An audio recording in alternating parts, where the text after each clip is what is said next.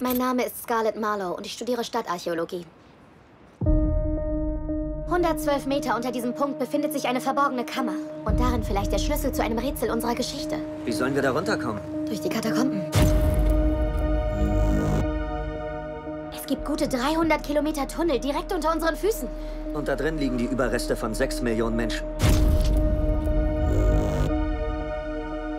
Halt, hier beginnt das Reich der Toten.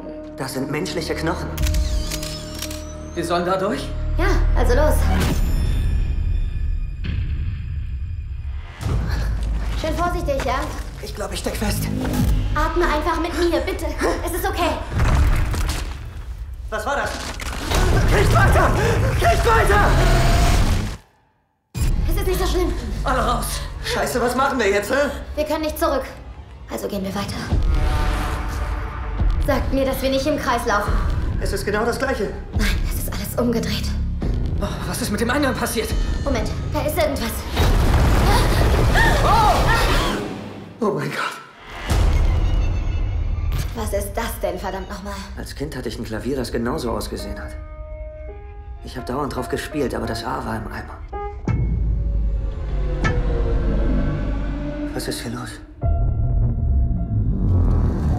Kannst du das entziffern? Der Mythologie zufolge ist das die Inschrift über der Pforte zur Hölle. Nur auf dem Bauch kriechend sollen sie ins Reich der Finsternis gelangen. Hast du das gehört? Oh Gott! Ist da jemand?